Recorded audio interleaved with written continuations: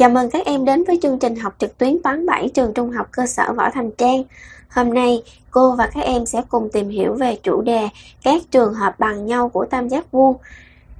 Trước khi vào bài mới, chúng ta cùng ôn tập lại kiến thức cũ nhé.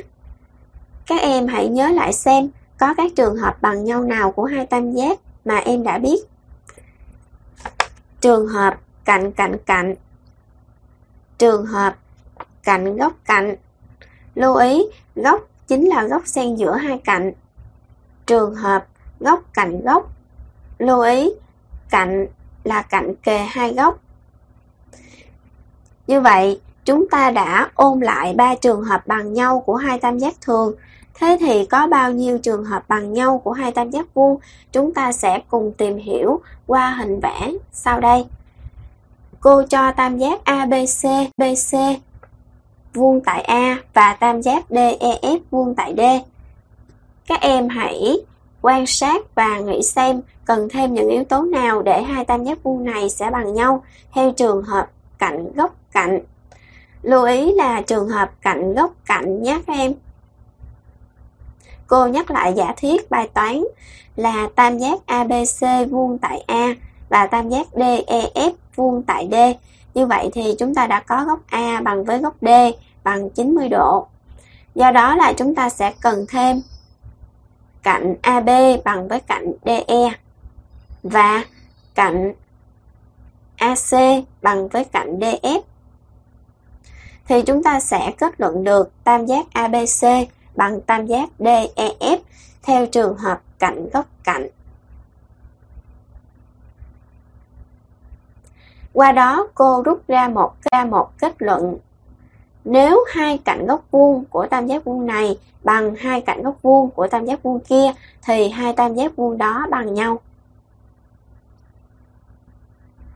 Các em hãy cùng tìm hiểu thêm một trường hợp nữa nhé.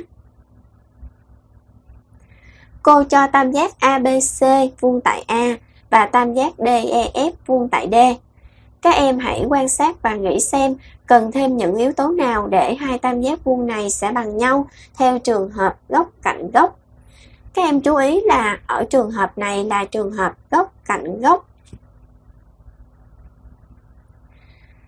Vậy giả thiết bài toán đã cho tam giác ABC vuông tại A và tam giác DEF vuông tại D, nên chúng ta đã có góc A bằng góc D bằng 90 độ. Vậy chúng ta sẽ cần thêm cạnh AC bằng với cạnh và góc C bằng với góc S Thì chúng ta sẽ kết luận được tam giác ABC bằng tam giác DEF theo trường hợp góc cạnh góc. Qua đó, cô rút ra một hệ quả. Nếu một cạnh góc vuông và một góc nhọn kề cạnh ấy của tam giác vuông này bằng một cạnh góc vuông và một góc nhọn kề cạnh ấy của tam giác vuông kia, thì hai tam giác vuông đó bằng nhau. Các em nhớ nhé. Chúng ta đã qua hai trường hợp bằng nhau của hai tam giác vuông. Và bây giờ chúng ta sẽ cùng tìm hiểu thêm một trường hợp thứ ba. Trường hợp thứ ba này à, sẽ đặc biệt hơn một chút đó là cô cho tam giác ABC vuông tại A và tam giác DED có thêm giả thiết là BC bằng với EF. Các em hãy cùng quan sát và nghĩ xem cần thêm yếu tố nào để hai tam giác vuông này bằng nhau theo trường hợp góc cạnh góc. Các em chú ý là góc cạnh góc. Như vậy chúng ta đã có cạnh BC bằng với cạnh EF theo như giả thiết đề bài cho. Vậy cô cần tìm thêm hai góc và cô cần tìm thêm góc B bằng góc E.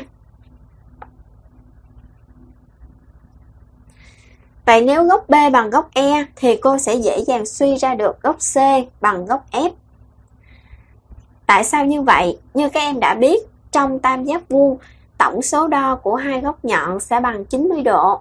Do đó, cô xét tam xét tam giác ABC vuông tại A có góc C sẽ bằng 90 độ trừ góc B. Tam giác DEF vuông tại D có góc F sẽ bằng 90 độ trừ góc E. Mà góc B bằng góc E thì cô sẽ dễ dàng suy ra góc C bằng góc F.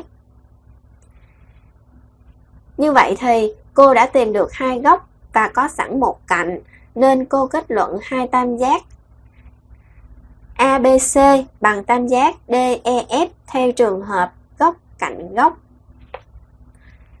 Ở đây các em để ý là cô chỉ tìm thêm góc nhọn, góc B bằng góc E. Vì nếu góc B bằng góc E thì góc C cũng bằng góc F, nên như cô đã giải thích ở phía trên. Và à, qua đó cô cũng rút ra được một hệ quả đó là nếu cạnh huyền và một góc nhọn của tam giác vuông này của tam giác vuông này bằng cạnh huyền và một góc nhọn của tam giác vuông kia thì hai tam giác vuông đó bằng nhau. Các em nhớ nhé, đây là một trường hợp à, đặc biệt để chứng minh hai tam giác vuông bằng nhau. Vậy từ ba trường hợp trên, chúng ta sẽ suy ra được các trường hợp bằng nhau nào của hai tam giác vuông mà chúng ta biết. À, các em sẽ cùng à, cô tìm hiểu qua chủ đề các trường hợp bằng nhau của tam giác vuông. Các em có thể ghi à, tựa bài này vào trong vở của mình, vở bài học của mình. Số 1 nhỏ là các trường hợp bằng nhau của hai tam giác vuông mà em đã biết.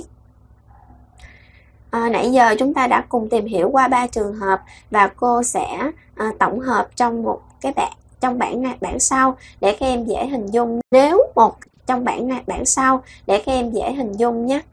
Trường hợp thứ nhất là trường hợp cạnh góc cạnh. Ở trường hợp này nếu chúng ta có hai cạnh góc vuông của tam giác vuông này bằng hai cạnh góc vuông của tam giác vuông kia thì hai tam giác vuông đó bằng nhau ở trường hợp thứ hai là trường hợp góc cạnh góc Nếu một cạnh góc vuông và một góc nhọn kề cạnh ấy của tam giác vuông này bằng một cạnh góc vuông và một góc nhọn kề cạnh ấy của tam giác vuông kia thì hai tam giác vuông đó bằng nhau.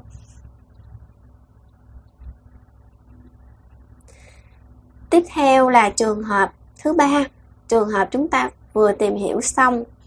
Đó là trường hợp cạnh huyền, góc nhọn là hệ quả của trường hợp góc cạnh góc. Thì à, trường hợp này à, hợp này à, chúng ta chỉ cần cạnh huyền và một góc nhọn của tam giác vuông này bằng cạnh huyền và một góc nhọn của tam giác vuông kia thì hai tam giác vuông đó sẽ bằng nhau. Vậy chúng ta đã có 3 trường hợp đã biết nhé các em. Vậy để hiểu rõ hơn về ba trường hợp này, các em hãy ngừng một phút quan sát các hình vẽ sau và tìm cho cô các cặp tam giác vuông bằng nhau, đồng thời chứng minh các tam giác vuông đó bằng nhau. Sau khi chứng minh xong, các em hãy xem đáp án ở phần sau và hoàn chỉnh bài làm của mình vào vở bài học nhé. Cô có các cái hình vẽ sau hình 143, 144, 145 lần lượt là các hình vẽ trong hoạt động số 1 ở sách giáo khoa của chúng ta. Các em cùng ngừng một phút để chúng ta tìm ra các cặp tam giác bằng nhau và chứng minh các cặp tam giác đó bằng nhau nhé.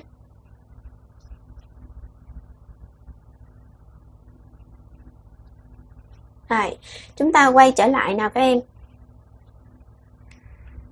Các em có thể ngừng video trong một phút rồi sau đó chúng ta quay trở lại nhé các em. Và cô xét à, hình đầu tiên đó là hình 143 hình này cô sẽ đi xét hai tam giác AHB và tam giác AHC có. Cô thấy giả thiết bài toán cho là cạnh BH bằng cạnh CH và góc AHB bằng góc AHC bằng 90 độ. Cạnh AH là cạnh chung nên cô kết luận được tam giác AHB bằng tam giác AHC theo trường hợp cạnh góc cạnh. À, trường hợp này cũng mình có đúng không nào? Cô sang hình tiếp theo nhé. Đó là hình 144. Ở hình này cô sẽ xét tam giác DKE và tam giác DKF có góc EDK bằng góc FDK là giả thiết đề bài cho. Cạnh DK là cạnh chung. Góc DKE bằng góc DKF bằng 90 độ. Nên cô kết luận được tam giác DKE bằng tam giác DKF theo trường hợp góc cạnh góc. Trường hợp này cũng khá là đơn giản, phải không nào? Các em hãy kiểm tra xem à, đáp án của mình có đúng không nhé. Và chúng ta sang hình cuối cùng, đó là hình 145. Hình này cô sẽ xét tam giác OMI vuông tại M và tam giác giả thuyết bài toán cho rằng cạnh OI là cạnh chung và góc MOI bằng với góc NOI. Nên chúng ta sẽ kết luận được tam giác MOI bằng tam giác NOI theo trường hợp là cạnh huyền góc nhọn.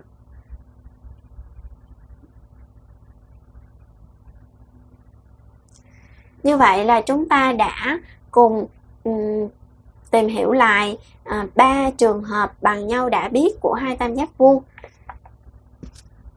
Nếu cô cho tam giác ABC vuông tại A và tam giác DEF vuông tại D có cạnh huyền bằng nhau và một cạnh góc vuông bằng nhau thì theo các em hai tam giác vuông này có bằng nhau hay không? Chúng ta hãy cùng à, dự đoán qua phần trực quan sau đây nhé. Cô sẽ dùng thước qua phần trực quan sau đây nhé. Cô sẽ dùng thước đo góc để đo để đo hai góc F và góc C.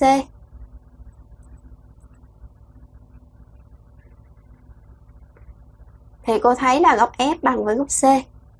Và cô đo tiếp cạnh DE và cạnh AB thì cô thấy là cạnh DE cũng bằng với cạnh AB. Như vậy thì qua trực quan chúng ta thấy hai tam giác này bằng nhau, nhưng để có một khẳng định chính xác hơn, chúng ta sẽ cùng sang phần hai nhỏ, trường hợp bằng nhau về cạnh huyền và cạnh góc vuông. Cô xét bài toán như sau.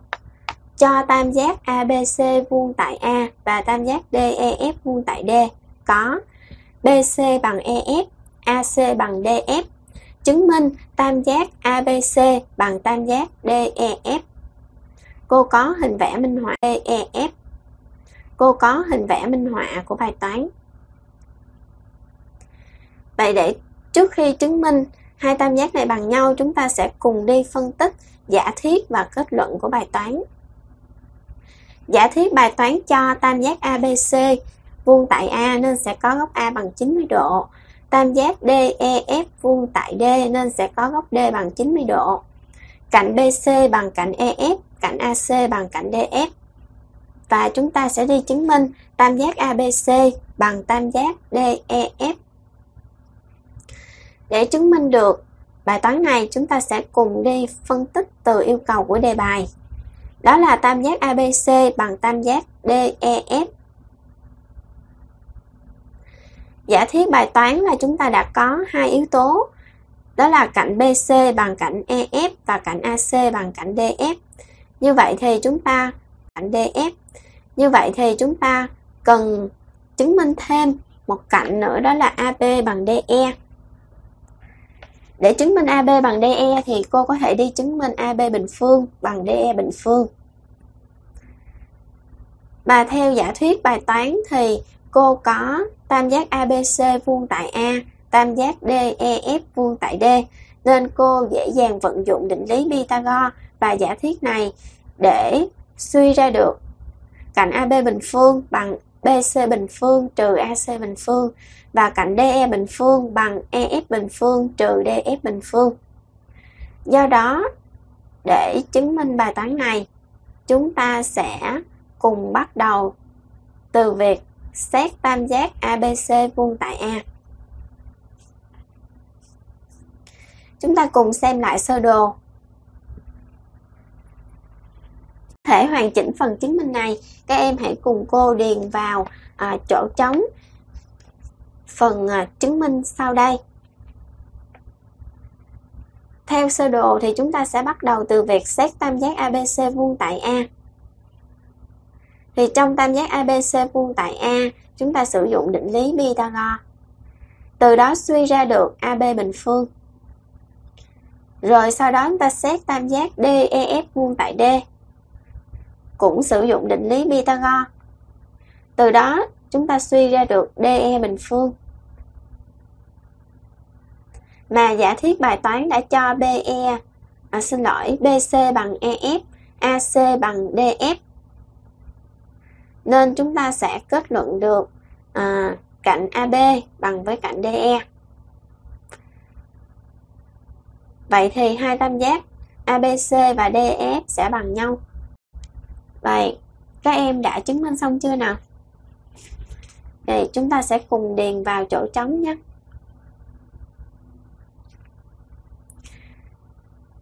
Ý thứ nhất, xét tam giác ABC vuông tại A có BC bình phương bằng chấm chấm chấm định lý Pythagore.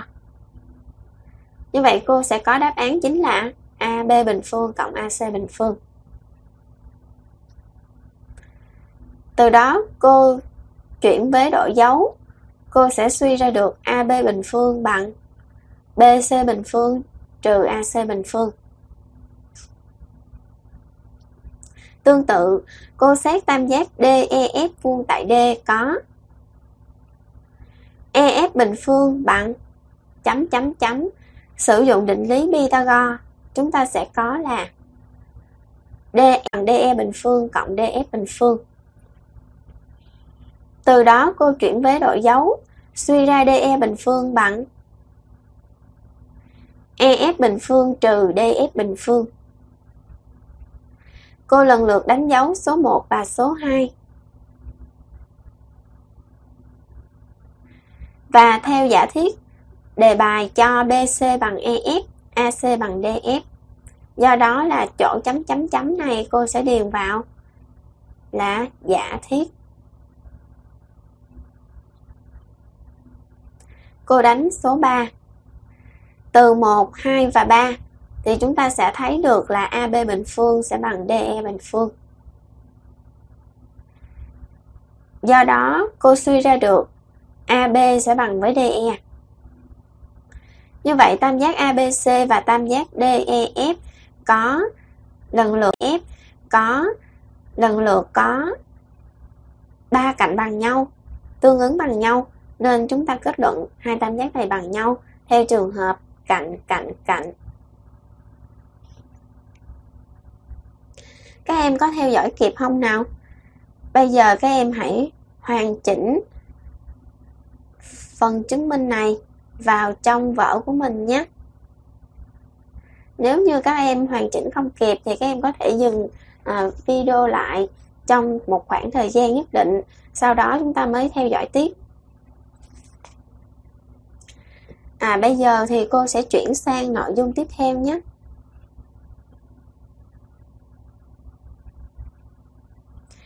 Như vậy thì chúng ta vừa à, khẳng định được là nếu hai tam giác vuông mà có cạnh huyền và một cạnh góc vuông bằng nhau thì hai tam giác vuông đó bằng nhau. Đó cũng chính là nội dung của hai tam giác vuông đó bằng nhau. Đó cũng chính là nội dung của định lý ở sách giáo khoa trang 135. Định lý phát biểu như sau. Nếu cạnh huyền và một cạnh góc vuông của tam giác vuông này bằng cạnh huyền và một cạnh góc vuông của tam giác vuông kia thì hai tam giác vuông đó bằng nhau cô có hình vẽ minh họa. Từ đây, để chứng minh hai tam giác vuông bằng nhau, các em cần phải xét. Cô ví dụ như cô xét tam giác ABC vuông tại A và tam giác DEF vuông tại D. Lưu ý là các em cần phải xét tam giác ABC vuông tại A và tam giác DEF vuông tại D. Ở đây cô chỉ ra được cạnh huyền BC bằng cạnh huyền EF và cạnh góc vuông AC bằng cạnh góc vuông DF. Nên cô kết luận hai tam giác ABC bằng tam giác DEF. Theo các em lưu ý cách trình bày, phần chứng minh hai tam giác vuông bằng nhau.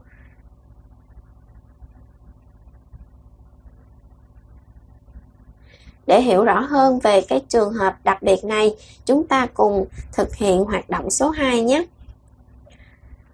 Ở hình sau cho biết góc GNH bằng góc GMH bằng 90 độ, cạnh NH bằng cạnh MH. Các em hãy chứng minh tam giác GNH bằng tam giác GMH. Chúng ta cùng phân tích giả thiết và kết luận của bài toán. Ở đây giả thiết bài toán cho hai tam giác, tam giác GNH và tam giác GMH. Có góc GNH bằng góc GMH bằng 90 độ. Cạnh MH bằng cạnh NH. Yêu cầu chúng ta đi chứng minh tam giác GNH bằng tam giác GMH. Các em cần chú ý kỹ, à, không là nhầm lẫn nhé vì cô đọc chữ M và chữ N đấy cần chú ý kỹ nhé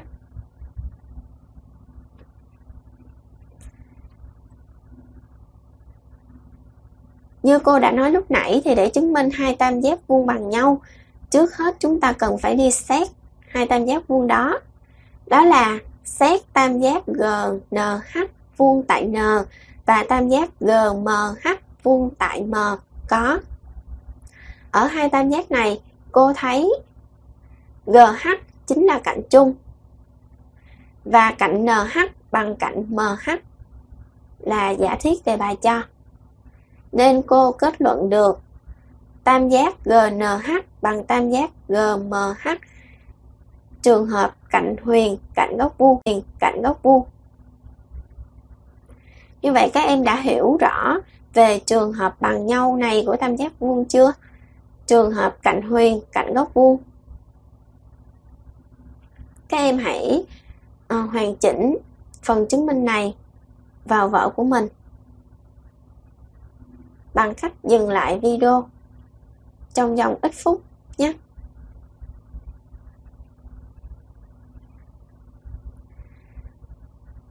Vậy chúng ta có thể tóm tắt lại các trường hợp bằng nhau của hai tam giác vuông như sau.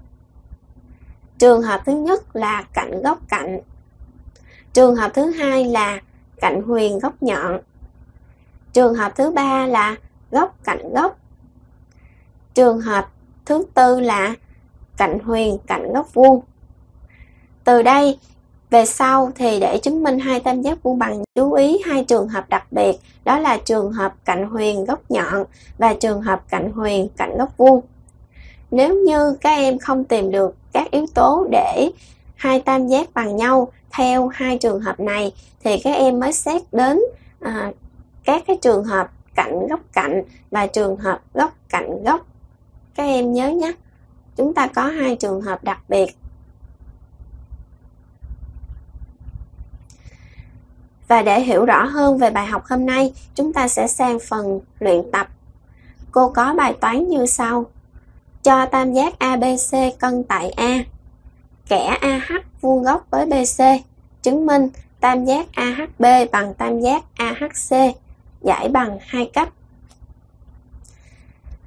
Để giải quyết bài toán này, trước hết cô sẽ hướng dẫn các em vẽ hình. Đề bài cho tam giác ABC cân tại A. Như vậy đầu tác ABC cân tại A. Như vậy đầu tiên chúng ta sẽ vẽ cạnh AB bằng cách là dùng thước thẳng, đo. Sau đó chúng ta sẽ vẽ một cạnh, dùng thước thẳng đo cho hai cạnh này bằng nhau nhé. Em rồi, như vậy cô ký hiệu vào, cô có cạnh AB cạnh AC và cạnh BC kẻ AH vuông góc với BC vậy cô sẽ đặt thước và kẻ AH vuông góc với BC chúng ta ký hiệu điểm H vào và ký hiệu góc vuông vào và do đây là hai tam giác cân nên chúng ta sẽ có cạnh AB bằng với cạnh AC và góc B bằng với góc C. Bây giờ chúng ta đã vẽ hình xong thì chúng ta sẽ tiến hành chứng minh cách. Bây giờ chúng ta đã vẽ hình xong thì chúng ta sẽ tiến hành chứng minh cách thứ nhất. Để chứng minh hai tam giác vuông bằng nhau, như cô nói lúc nãy, chúng ta sẽ đi xét. Cô xét tam giác ABH vuông tại H và tam giác ACH vuông tại H. Có. Hai tam giác này cô có cạnh AB bằng cạnh AC do tam giác ABC cân tại A.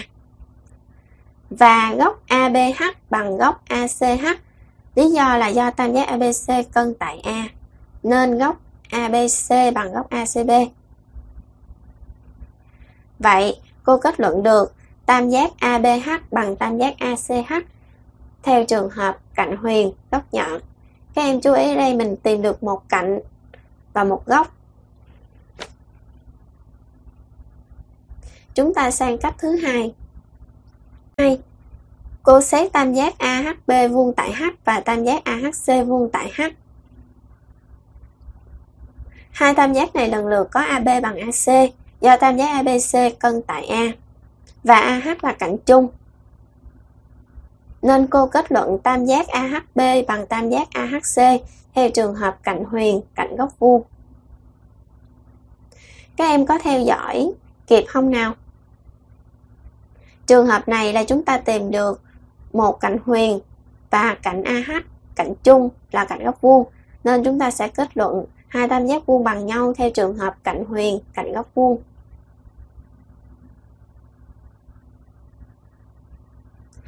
Như vậy, trong thực tế thì ứng dụng của việc chứng minh hai tam giác bằng nhau vào thực tế là như thế nào? Các em hãy cùng cô tìm hiểu tình huống sau đây nhé. Em có thể đo được khoảng cách giữa hai điểm A và B song hay không?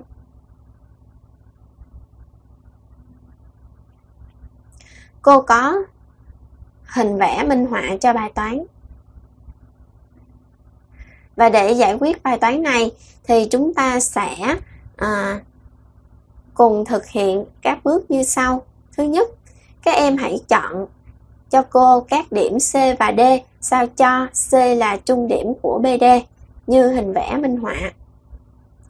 Sau đó, dùng giác kế vạch tia DX sao cho góc B và góc CDX so ra trong và bằng nhau.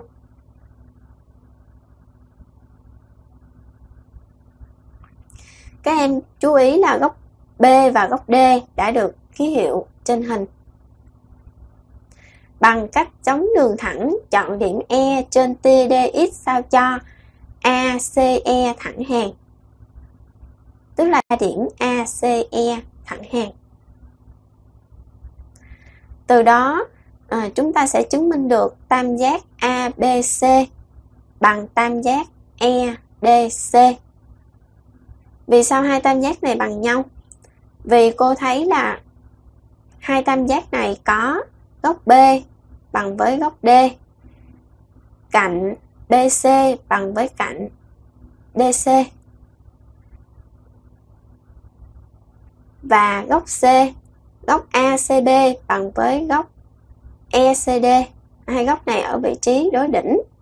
Nên chúng ta sẽ kết luận hai tam giác này bằng nhau theo trường hợp góc cạnh góc từ đó cô sẽ suy ra được AB bằng với DE là do hai cạnh tương ứng. Vậy chúng ta sẽ dễ dàng ở bên bờ bên đây xong đo được độ dài của cạnh DE. Thì chúng ta sẽ kết luận được khoảng của hai điểm A và B ở hai bên bờ sông. Các em thấy bài toán này có à, thực tế không? Rất là thực tế đúng không nào? À, bây giờ để có thể à, hiểu sâu sắc hơn về à, bài học hôm nay thì các em sẽ thực hiện bài tập ở nhà.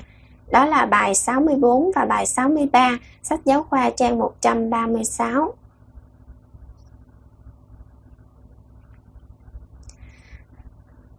Bài học của mình đến đây là kết thúc.